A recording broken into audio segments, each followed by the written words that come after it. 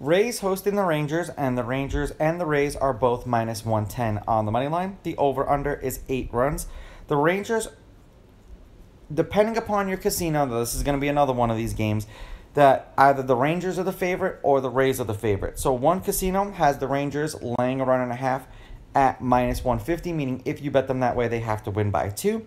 And the Rays getting a run and a half on the run line at minus 180, meaning if you bet them that way and they win this game outright, you win. They lose by one, you win. And another casino has the Rangers as the underdog getting a run and a half at minus 210 on the run line, and the Rays laying a run and a half uh, at plus 175. So use a site like VegasInsider.com. It'll allow you to compare all the casinos' pricings in one place, and this is because of the pitching matchup, which is probably one of the better pitching matchups that we get today and the fact that the Rays are actually the home team. And the Rays are incredible at home this year. Now, Eovaldi pitched once against the Rays last year. It was as a member of the Red Sox. Five shutout innings. They won that game 6 0. It was called because of weather, and he struck out four batters in that game. The Rangers are 7 and 3 in Eovaldi's last 10 starts. They've won his last three starts. He's averaging six and two thirds innings pitched and six and a half strikeouts per game in those games. So he's a guy that you'd like to look at the K line and see where it's at for over unders. Bradley did not pitch against the Rangers either last year or this year. The Rays are four and three as a team with him on the mound in the games in which he started. He's averaging five innings pitched and 6.9 strikeouts per game in those games. So this game is essentially a batter of a battle of strikeout pitchers. So if someone makes a mistake, chances are the ball's going yard. But we should get a lot of batters who are uh, struck out in this one. Head to head, the home team is five and five. The home team's on a three-game winning streak. The Rays are on a three-game winning streak. The Rays are seven and three against the Rangers in their last ten. The favorite has won the last three games they played against each other.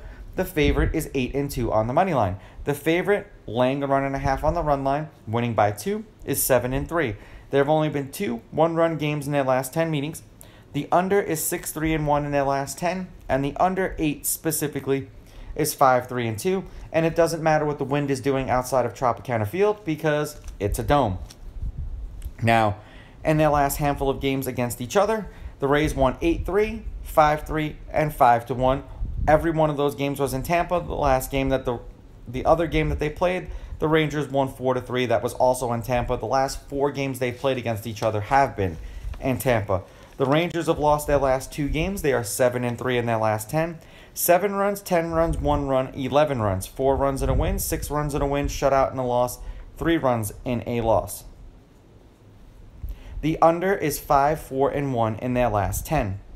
For the Rays, they have won their last 7 games. They are 8 and 2 in their last 10. Seven runs, three runs, six runs, 11. Seven runs in a win, two runs in a win, four runs in a win, eight runs in a win. The under is 8 and 2 in their last 10 games. This is this is going to be one of these fun games to pick and uh, just food for thought. The Rangers are 19 and 13 on the road while the Rays are 30 and 6 at home this year. I'm hoping for a one-run game. I'm gonna I'm gonna hedge my bets based on that. I'm gonna take the Rays with the money line, and I'm gonna take the Rangers getting the runs and at the casinos where they're the underdog. And I'm gonna go under in this game because of these pitchers who are on the mound. These are just my picks. If you disagree, please go with your gut and please bet responsibly.